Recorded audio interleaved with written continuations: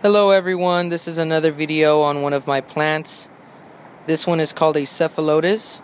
As you can tell, it's extremely small. And that is why I am going to use the Olloclip macro lens to show you guys this plant in better detail. So hang on just a second while I focus this. There we go. This right here is new growth, a small new little pitcher growing in, along with these two little ones over here.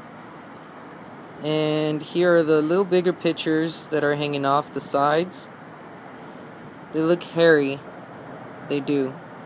That's pretty cool. I love this macro lens. Anyway, I purchased this plant a few months back from flytrapstore.com. Hey, babe. And yeah. I can't wait for this bad boy to grow a little bigger, and I will make some updates on it. And again, this plant is called a. Thanks for watching.